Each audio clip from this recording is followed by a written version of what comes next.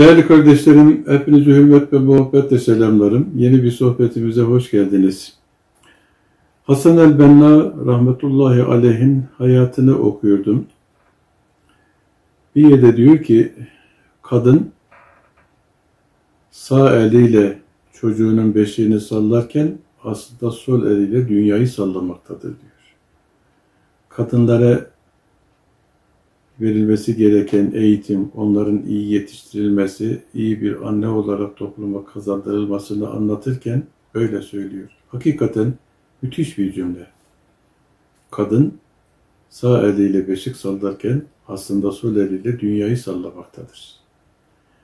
Evet değerli kardeşlerim, kadın toplumun gerçek mimarı. Evlatlarımız önce onlara teslim. Bir yandan maddi sağlıklarını sütleriyle beslerken bir yandan da manevi karakterliklerini oluşturuyor.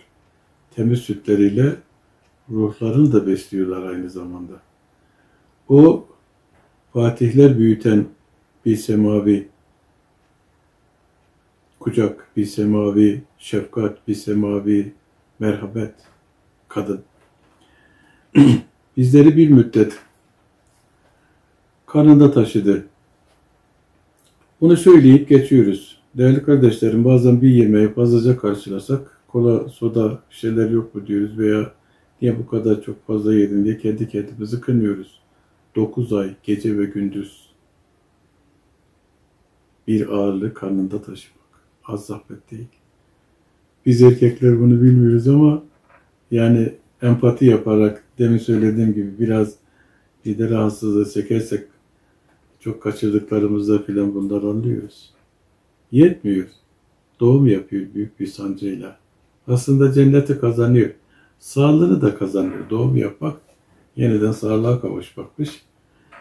Yetmiyor. Sütüyle besliyor. iki sene kucağında. Bütün mahlukata bakıyorsunuz bir at, bir inek doğum yaptığı zaman birkaç saat içerisinde zıplayıp gidiyor yavru. Ama insanoğlu iki yıl içerisinde ayağa kalkıp zıplayamıyor. Yerde sürünüp duruyor. Her ihtiyacına anne koşuyor ya.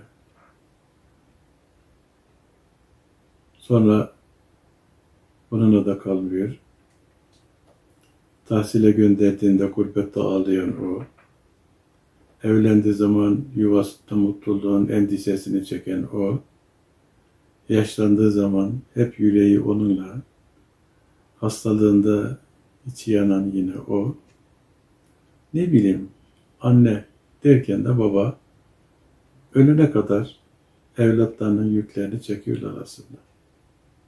Bu yüzden Allah Celle Celaluhu kendisine ibadetten sonra ikinci büyük emir olarak ana babaya iyi davranmayı emrediyor bizlere. وَقَدَى رَبُّكَ اَلَّا تَعْبُدُوا اِلَّا اِيَّهُ Rabbin ancak kendisine ibadet etmenizi emretti ve bil valideyni ihsana anne babanıza ihsan yani güzel davranmayı sizlere emir buyurdu. Ne fedakar varlıklardır anneler ve babalar. Kendilerine, ailelerine hasrediyorlar. Özellikle anneler. Saygıda babalar öncelikli ama iyilikte, şefkatte, merhamette anne öncelikli. Kime en fazla iyilik edeyim diye peygamberimize sorana annene diyor. Sonra annene, sonra annene, sonra babana. Bizim adab kitaplarımızda da hürmette baba önceliklidir ama hizmette ve yatında, şefkatte anne öncelikli gelir. Anne. Engin bir sevgiye, derin bir saygıya, ömürlük bir teşekküre layıktır ve yetmez değerli kardeşler. Yetmez. Ne yapsak yetmez. Sırtında annesine tavaf ettirene hakkımı ödeştin mi diye de sorulur. Peygamberimizin cevabını biliyorsunuz. Anneler doğumdan ölene kadar bizi yaşatmak için fedakarlık yapıyorlar. Ama yaşlanınca anne ve babalarımız yanımızda olursa biz bir gün ölecekler, gidecekler diye hizmet etmeye çalışıyoruz. O bir ömür yaşatacak. Biz dişini sık sabret. Bir gün ölecekler aman iyi ol diyoruz. Aradaki farkı hissediyorsunuz değil mi? Sevgili Peygamberimiz Efendimiz Aleyhisselatü Vesselam ileride anne olacak müstakbel anne kız çocuklarımızın çok güzel yetiştirilmesini emir buyuruyor. Talabul ilmi farizatun ala kulli müslimin ve müslime rivayeti var. İlim talep etmek ve kendisini eğitmek her Müslüman erkeğe ve kadına farzdır. Bu farzın en iyi bir şekilde yerine getirilmesi için anneler, babalar ve devlet üstüne düşenleri mutlaka yerine getirmeli, yükümlülüklerini yapmalıdırlar. Peygamberimizin yaşadığı toplumda kadın sıradan bir eşyaydı yani. Değersizdi. Genellikle de zevk aracıydı. Cinsellik aracıydı yani. Ev içerisinde saygı görmezdi. Kazanmadıkları, savaşamadıkları için de tufeyli yiyicilerdi. Miras bile bırakmazlardı. Uzun uzun anlatmayayım. Bazı olayları ilk defa okuduğumda ben de şaşırmıştım. Böyle insanlık mı olur ya diye. Her neyse. Çok çirkin şeyler var. Bu çirkinlikler bizim çocuğumuzda olmasın ve bizi utandırmasın diye şerefli ailelerden çoğu çocuklarını küçükken doğduğunda toprağa göber öldürürlerdi. Kız çocuklarını toprağa diri diri gömme adetlerinin olduğunu bilirsiniz. Bunun bir sebebi rızık endişesidir. Genellikle bu bilinir ama ikinci bir sebebi toplumda kadının değeri o kadar düşük ve cinsel meta olarak o kadar rezil bir durumda ki tabi rezil olan onlar değil, onları böyle rezil durumda kullananlardır aslında. Bizim kızımız da ileride böyle bir rezil olmasın, kepaze olmasın, fuhşa düşmesin, bizi e, utandırmasın diye onun için de güverlerdi. Birisine çocuğun oldu dedikleri zaman hemen sorardı ne kız dediği zaman suratı kapkara olur. Başlardı düşünmeye onu nasıl öldürsem. Yaşatsam mı öldürsem. Hazreti Ömer bir şey aklıma geldiği zaman çok ağlarım diyor. Bir şey aklıma geldiği zaman da gülerim diyor. Bildiğiniz hikaye. Aklına geldiğinde ağladı. Bir kızım vardı diyor. Bayramcılık gibi elbiselerdi giydirdim. Seni dayılarına götüreyim dedim. Elinden tuttum analar nasıl bir durumda kalıyorlar ki babalarının çocuklarının elinden tutarak ölüme götürdüklerini arkadan seyrediyor fakat hiçbir şey yapamıyorlar. Açık bir ıstırap. Şehrin dışına çıkınca kumları şöyle biraz eşiyordum. Heyecanlandım tabi. Böyle yapınca diyor topraksal sakallarıma. Kızım geliyor babacığım sakallarım toz olur diye kumları böyle temizliyordu diyor.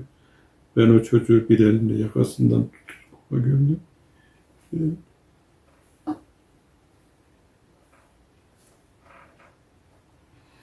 vallahi eh, bizi anlatırken, dinlerken ağlatıyor. Kim bilir Hazreti Ömer'in yüreği ne kadar yanmıştır. Güldüğün dedi diyorlar. O da gülecek bir şey. Helvadan put yapardık diyor. Acıkırdık. O putları yerdik el olduğu için. Tanrımızı yedik diyor. Allah Allah. Diyeceksiniz ki cahiliye. Yok. Bugünün cahiliyesi de böyle saçmalıkları yapmıyor mu Allah aşkına? Kadınların durumuna bir bakar mısınız? Kullanıyorlar. Hem de nasıl kullanıyorlar? Sevgili Peygamberimiz, kadın öyle bir değer verdik. Kadın erkek gibi aynen eşit bir varlıktır. Allah bizi bir kadın ve bir erkekten yarattı. Ya eyyühennas inna halaknakum min zekerin ve Hangisi daha üstün demeyin. İnne ekremakum indallahi etkakum. Sizin Allah katında en değerliniz, en üstününüz hanginiz daha takvalıysa odur. İster kadın ister erkek. İster fakir ister zengin. İster soylu ister soysuz. İster köle ister huy. ister şehirli ister köylü. İster çölde, badiyede, ovada da yaşayan, ister de şehirde, medeniyette yaşayan. Kim daha takvalı, Allah katında üstün olan, değerli olan odur. Bu kadar. Bir seyahat esnasında Enceşu adlı bir hizmetçi peygamberimizin eşlerine hizmet ediyorlar. Onlar devenin üstünde. O da şarkı söyleyerek develeri hızlandırıyor. Araplarda bu arız vezli deveden, devenin yürüyüşünden çıkmış derler. Şimdi kafile normal gitmek isterse failatun, failatun, failun şeklinde şarkılar, şiirler okur. Deveyi götüren, yeden. Devenin hızlanmasını istiyorsa arız vezninde müstefilün, müstefilün, müstefilün vezninde şiirler okur. Deve duyduğu şiirin ahengine yani arız veznine göre adım atar. Bir defasında yol almak için böyle hızlandırmıştı şarkıyla. Peygamberimiz baktı ki hanımlar hevdeşlerinde böyle sarsılıyorlar. Onlar incinebilir diye Peygamberimiz ya encese dikkat et camlar kırılmasın dedi. Ve kadınları böyle narin, efendim camdan yapılmış böyle şişeler biblolara benzetiyor. Kırılmasın diyor. İslam o seviyeden aldığı hizmet edilecek, hürmet edilecek bu seviyeye getirdi. Ve en çok ve en zirve noktası da cenneti ayaklarının altına koydu. El cennetu tahta akdamın ümmühat cennet annelerinin ayakları altındadır.